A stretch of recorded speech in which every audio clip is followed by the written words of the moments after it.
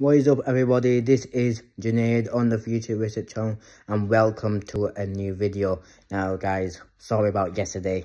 The video was um, not gonna be um, uploaded and it was not gonna be made because I was working and it was till 11.15 as well. So it was a very long day yesterday. So that's why there was no video at all yesterday. So yeah, so we are not far from Qatar 2022. We're not far from, from the World Cup itself. Because the World Cup is obviously is this Saturday. And Saturday? I meant the World Cup is this Sunday. I don't know why I said Saturday. I'm not, uh, I don't know why I, I said that. All, Whoops. Um, I probably said Saturday. I don't know why I said that. But yeah. Um, anyway, um, this Sunday, this Sunday, yeah.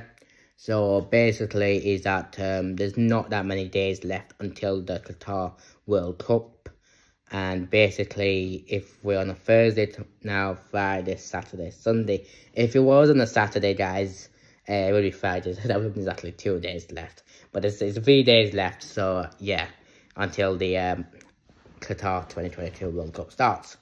And basically, guys, um, this is going to be a really good World Cup. I do hope it is going to be a really good World Cup.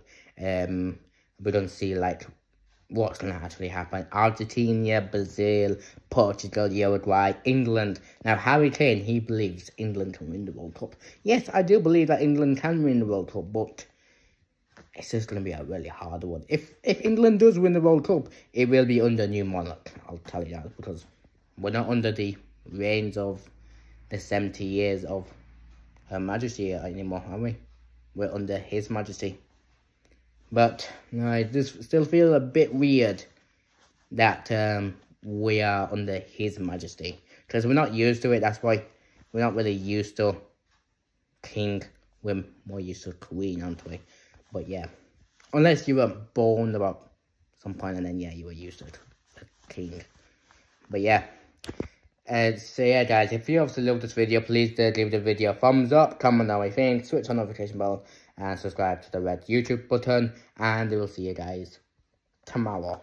Because tomorrow as well, uh, I got work scheduled from 6pm to midnight, so I'll do a video early on. So yeah, see you guys soon.